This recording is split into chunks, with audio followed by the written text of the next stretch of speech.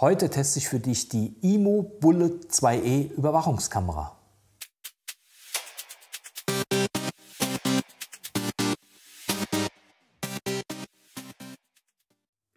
Hi, ich bin Holger vom Login Tech Blog und ich habe von der Firma IMU eine Bullet 2E Überwachungskamera zum Testen bekommen. Diese packe ich jetzt gleich mal aus und dann schauen wir mal rein, was in der Schachtel so alles drin ist. Ich habe schon mal alles ausgepackt und jetzt schauen wir uns mal an, was da so alles drin ist. Also, wir haben zum einen unser Steckernetzteil mit einem 3 Meter Kabel. Dann haben wir eine Dokumentation auf verschiedenen Sprachen, so ein Garantieheft, nochmal den Quickstart Guide, auch in Deutsch natürlich. Dann haben wir ein äh, Garantiebestätigungs- Badge mit ähm, entsprechend auch noch irgendwie eine Giftkarte. Da kriegst du was umsonst, wenn du dich registrierst. Dann haben wir nochmal die Service-Hotline auf verschiedenen Sprachen und ähm, eine Bohrschablone. Das ist ganz interessant. Die Kamera kann man dann an die Wand schrauben. Und dazu brauchst du natürlich auch ein paar Schrauben. Diese Schrauben mit Dübel hast du entsprechend hier. Dann haben wir natürlich auch die Kamera, das Herzstück, ein bisschen schmutzig. So, so schaut die aus. Das heißt, wir haben äh, vorne entsprechend die Kamera mit zwei Scheinwerfern. Das ist ganz interessant, das werden wir uns anschauen. Dann haben wir noch eine Kontrollleuchte, ein Mikrofon und entsprechend versteckt dort hinten auch noch Infrarotstrahler. Dann haben wir hier die entsprechenden MIMO-Antennen, die hier außen angebracht sind, die man dann vielleicht noch verstellen kann, um den Empfang zu verbessern. Wir haben ein Kugelgelenk, damit kann man entsprechend die Kamera, wenn sie befestigt ist, ausrichten, kann die dann hier beliebig verdrehen. Ähm, hier hast du entsprechend eine ähm, Kreuzschraubendreher, Schraube, mit denen du entsprechend das dann halt feststellen kannst. Hier hast du das Kabel, das kannst du einmal mit einem Netzteil anschließen. Das Netzteil ist dabei, das ist der Anschluss dafür. Und wenn du kein WLAN hast, kannst du das entsprechend auch hier mit normalem Ethernet benutzen. Damit das Ganze auch, weil die Kamera ist IP67 ähm, zertifiziert, sprich die ist äh, staub- und wassergeschützt. Damit das Ganze natürlich auch hier nicht reinläuft, wenn du Ethernet benutzt, hast du entsprechend hier nochmal eine Überwurfmutter mit einem O-Ring und kannst das Ganze dann hier mit deinem Netzwerkkabel absichern.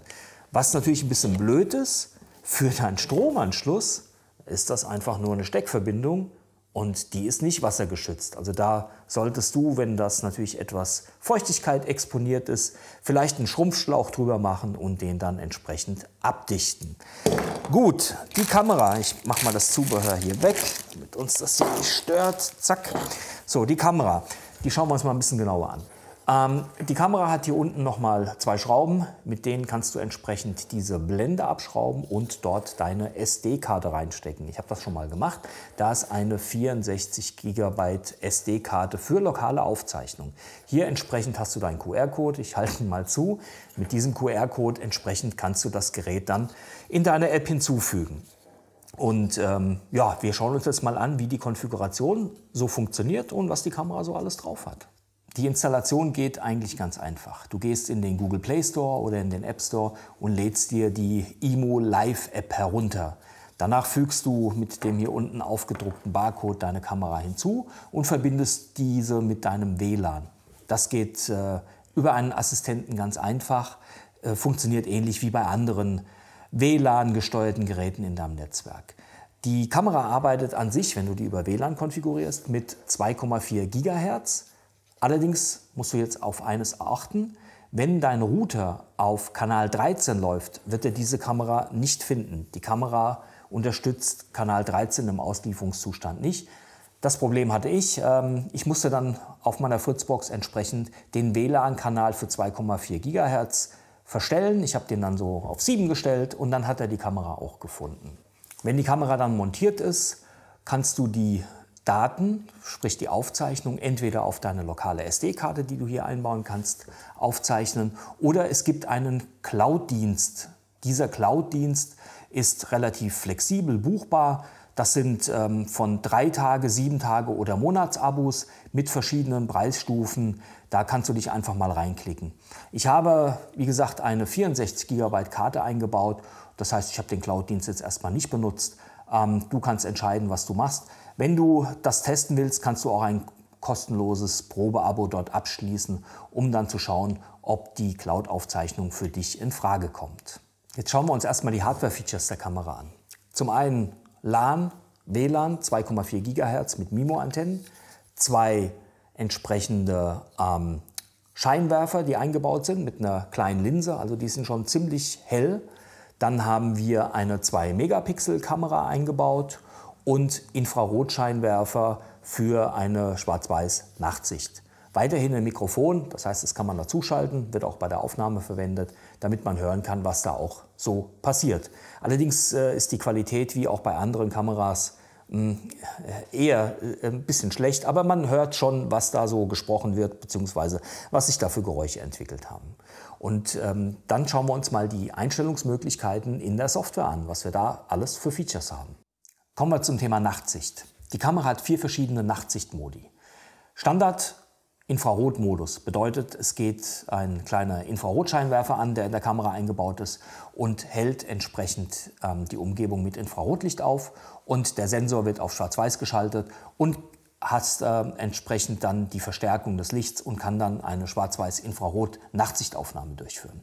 Das nächste wäre das Nachtsicht mit dem entsprechenden Scheinwerfer. Ich habe ja zwei Scheinwerfer dort eingebaut. Diese gehen dann an und hellen praktisch die Umgebung auf. Der andere Modus ist entsprechend der ähm, Nachtsicht ohne Scheinwerfer. Da versucht die Kamera durch, ähm, auf, äh, durch Erhöhung der Empfindlichkeit entsprechend dort mehr Licht reinzubekommen und dann entsprechend ein Farbbild darzustellen, was mit so einer Restlichtverstärkung funktioniert. Ist, wenn da so Straßenlaternen sind, eigentlich ein sehr, sehr gutes Bild. Wenn es natürlich stockdunkel ist, hilft das auch nicht. Und dann haben wir das smarte Nachtsicht. Das ist eine Kombination aus allem drei. Die Kamera entscheidet dann, wenn es zu dunkel ist, dann wird entweder der Scheinwerfer eingeschaltet, beziehungsweise der Scheinwerfer wird eingeschaltet, wenn Bewegungserkennung ist. Und ansonsten ist es dann halt eine Infrarot-Nachtsicht. Und dementsprechend, wenn nichts passiert, dann läuft die Infrarot. Und wenn jetzt jemand durchs Bild läuft, dann geht der Scheinwerfer an. Und dementsprechend wird die Nachtsicht dann umgeschaltet auf dieses Nachtsicht mit ähm, entsprechend den Scheinwerfern. Und das funktioniert ganz gut. Allerdings, wenn man das irgendwie im Außenbereich hat, wo das äh, ähm, öffentlichen Bereich ist, dann ist es ziemlich blöd, wenn man dann irgendwie andauernd irgendwie die, die Scheinwerfer einschaltet, weil es dann halt auch vielleicht die Umgebung irgendwie ein bisschen stört. Da muss man dann entsprechend entscheiden, wo man das Gerät platziert und wie man entsprechend die Nachtsicht dann einstellt. Zusätzlich kann ich dann noch zu dieser Nachtsicht dort eine Aufgang, Aufhellungsempfindlichkeit einstellen. Das heißt, wie stark verstärkt wird, wie äh, stark diese Infrarotscheinwerfer ähm, äh, entsprechend dort strahlen und wie die Empfindlichkeit der Kamera ist. Da musst du einfach mal ein bisschen ausprobieren, was für deine Umgebung dort die beste Einstellung ist. Weiterhin hat die Kamera ein eingebautes Mikrofon. Mit der kann ich entsprechend hören, was dort in der Umgebung los ist, was gesprochen wird, wie auch immer. Dieses Mikrofon kann ich bei der Standardansicht, wenn ich in die Kamera ein, reingehe und mir ein Live-Bild anschaue, dann aktivieren. Ähm, standardmäßig ist es deaktiviert. Bei der Aufnahme wird der Ton aber immer mit aufgezeichnet. Die Kamera hat keinen Lautsprecher, das heißt, ich habe keine Gegensprechfunktion. Ich kann also nicht reinsprechen und dann sagen, hey, geh von meiner Tür weg oder was auch immer. Das funktioniert nicht, das unterstützt diese Kamera nicht. Der Ton geht immer nur in eine Richtung. Weiterhin hat die Kamera eine Bewegungserkennung. Ich kann Bewegungszonen ganz einfach markieren. Das heißt, in diesem Falle sind die Zonen, die aktiv sind, die ich markiere, die werden dann für die Aufzeichnung entsprechend benutzt. Das heißt, wenn sich dort was verändert, dann äh, beginnt die Aufzeichnung auf die Cloud bzw. auf den lokalen Speicher. Und die Kamera hat zusätzlich noch eine intelligente AI-Erkennung, die soll äh, gewährleisten, dass Menschen erkannt werden. Das heißt, Menschen werden anhand von gewissen Merkmalen, Gesicht, Körper, Augen, was auch immer erkannt. Und ich bekomme dann zum Beispiel eine Push-Nachricht, dass ähm, dort eine Person erkannt worden ist. Also nicht nur eine Bewegung, sondern es wird sogar differenziert zwischen einer Bewegung und einer Person.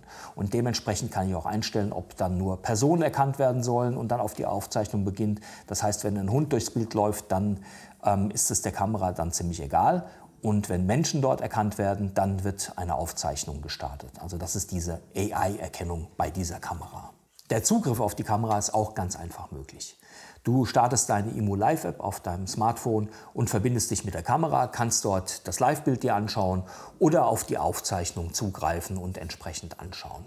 Von außen geht das auch ohne Konfiguration deines Routers oder irgendwelchen dünnen DNS-Einstellungen. Einfach die App öffnen und entsprechend dort auf die Kamera bzw. auf die Aufzeichnung zugreifen. Du kannst von extern auch entscheiden, ob du dir das Ganze in SD oder in HD anzeigen lassen möchtest, dementsprechend, was du für eine Leitungsverbindung hast. Mir ist aufgefallen, dass die Verbindungsgeschwindigkeit sehr, sehr schnell ist. Das heißt, ähm, ich starte die App, äh, drücke auf die Kamera und dann dauert es eins bis maximal anderthalb Sekunden und dann habe ich sofort ein Live-Bild.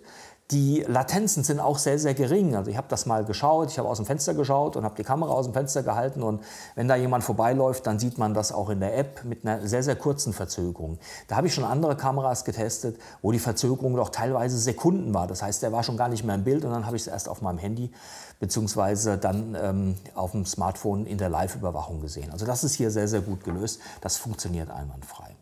Weiterhin kannst du auch ein Passwort auf deine Kamera vergeben und dann über RTSP auf die Kamera zugreifen, um die zum Beispiel in äh, MotionEye zu integrieren oder über einen VLC-Browser ähm, dort auf die Kamera zuzugreifen oder was auch immer. Also RTS, äh, RTSP ähm, ist unterstützt und ich werde dir mal in meinem Blog entsprechend die Adressen dort verlinken, wie man auf die Kamera zugreifen kann. Das heißt, wenn du diese Kamera ähm, benutzen möchtest, um das auf anderen Geräten aufzuzeichnen, wie zum Beispiel MotionEye, dann schau einfach auf meinen Blog.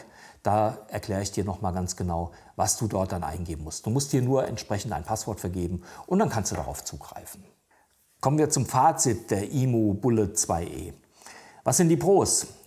Zum einen das stabile Gehäuse, die ähm, gute Einstellmöglichkeit, das Metallgehäuse, die IP67-Zertifizierung sprechen für ein sehr wertiges Gerät. Alle entsprechenden Teile sind mit äh, Gummidichtung abgedichtet. Also ich finde die Verarbeitung doch schon sehr, sehr gut. Hat mich wirklich überzeugt. Das Bild der Kamera, sprich die Aufzeichnung oder auch das Live-Bild äh, im HD-Bereich machen auch einen sehr, sehr guten Eindruck. Also das Bild ist immer scharf, ähm, auch bei Nachtsicht insbesondere ist das Bild immer klar zu erkennen, je nachdem, welchen Modus man benutzt, ob das jetzt Nachtsicht mit Infrarot oder mit äh, dem entsprechenden Rampenlicht, aber da kommen wir gleich zu, ähm, ist das Bild immer gut erkennbar, also hat mich überzeugt. Weiterhin der, der doch günstige Preis mit einem Listenpreis von 60 Euro spricht auch für das Gerät. Die Cons, ähm, sprich, was spricht äh, nicht so für die Kamera, beziehungsweise wo ist noch Room for Improvement, ist ganz klar teilweise die schlechte Übersetzung der App. Also da klingt das teilweise recht lieblos durch den Übersetzer gejagt. Äh, wie gesagt, diese Scheinwerfer heißen Rampenlicht. Warum auch immer. Äh, wenn man ein Bild für die Kamera einstellen möchte, heißt das Brauch erschließt sich mir auch nicht. Also manchmal muss man echt überlegen, was sie damit meinen. Also die Übersetzung kann echt noch verbessert werden. Aber was ich viel schlimmer finde, ist, wie dort mit Aufzeichnungen umgegangen wird. Die Kamera speichert in meinem Falle jetzt die Aufzeichnung auf einer lokalen SD-Karte. Ich kann ganz normal auf diese Aufzeichnung zugreifen, soweit so gut. Ich navigiere in den Bereich, sehe meine Aufzeichnung. Erster kleiner Kritikpunkt, die Aufzeichnungen haben kein Thumbnail. Das heißt, ich muss immer in die Aufzeichnung reingehen, um zu sehen, was da los ist. Ähm, ein Vorschaubild wäre da echt hilfreich. Dann ist das Zweite, ich kann mir die Aufzeichnung anschauen. Ich kann mir alle Aufzeichnungen anschauen, ich kann vor- und zurückspulen und so weiter. Aber ich kann es von meinen Aufzeichnungen nicht exportieren. Und jetzt muss ich entweder ein äh, Foto machen, da gibt es extra so ein Symbol, klickst du auf Foto und dann macht er währenddessen du die Aufzeichnung abspielst, ein Foto. Oder du kannst auf einen Aufnahmebutton drücken und dann machst du von der Aufzeichnung eine Aufzeichnung und dann hast du eine Liste mit deinen lokalen Aufzeichnungen, wie es dann heißt. Und diese kannst du exportieren um sie dann halt irgendwie weiter zu verschicken oder im Falle einer Überwachungskamera für eine Beweissicherung und so weiter. Also das finde ich extrem umständlich. Ich hätte mir gewünscht, ich gehe in die Aufzeichnung rein und habe dann dort einen Button exportieren, teilen oder was auch immer, wie man das eigentlich heutzutage erwartet. Nein, in diesem Falle spiele ich die Aufzeichnung ab und mache von dieser Aufzeichnung eine Aufnahme, mit der ich dann in meinem lokalen Speicher entsprechend die Aufnahme weiter verteilen, speichern oder wie auch immer kann. Das finde ich, ähm, ja, ein No-Go. Also da muss auf jeden Fall noch dran gearbeitet werden. Ich weiß allerdings nicht, wie sich das verhält, wenn die Aufzeichnung in der Cloud ist. Ob ich dann die Möglichkeit habe, dort ähm, eine Aufzeichnung direkt zu exportieren oder ob ich den genau den gleichen Weg, wie ich gerade beschrieben habe, gehen muss. Also das kannst du dir vielleicht mal anschauen.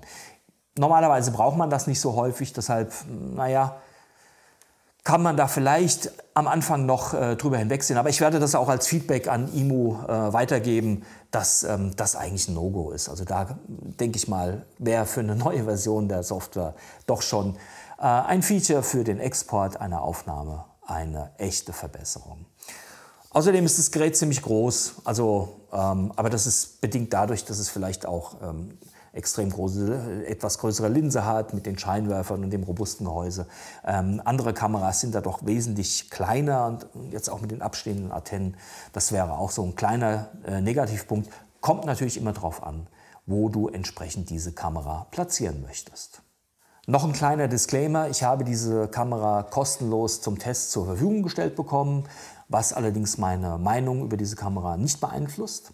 Wenn du dich für diese Kamera interessierst und dich diese überzeugt hat, verlinke ich dir unten in der Videobeschreibung A den Link zu meinem Blog, B der Link zu Amazon, wo du diese Kamera dort käuflich erwerben kannst. Und damit das Ganze für dich auch interessant ist, packe ich dir auch einen Gutscheincode rein, kriegst du 20% Nachlass auf die Kamera, wenn du dann entsprechend über diesen Link reingehst.